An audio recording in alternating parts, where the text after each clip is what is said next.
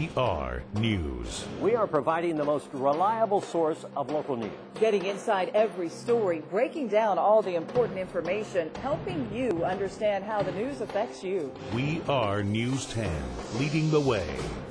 The Terre Haute Fire Department and the city of Terre Haute seem to have finally come to terms. Good evening. I'm Patrice Dayton. And I'm Mark Allen. It has been more than a year since the Terre Haute Firefighters Union has been without contract with the city. Now both sides are announcing they've reached a tentative agreement. News 10's Janice Allen joins us now live from Terre Haute Fire Department Station 5. Janice?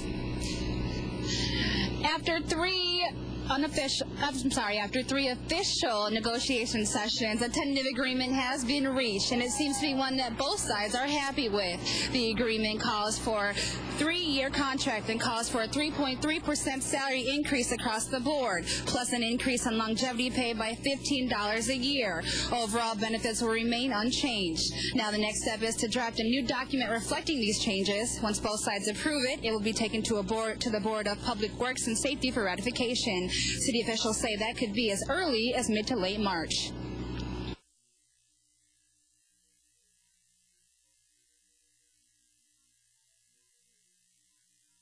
And as with all good negotiations, there was give and take on both sides, and we eventually were able to get to an agreement that both sides are happy with. Now, since this agreement is in the very early stages, Terre Haute Fire Department workers declined to comment. News 10 did contact the union president, who stressed this is just a proposal and that it still needs to be reviewed and voted on by union members. Reporting live from Terre Haute Fire Station number 5, I'm Janice Allen.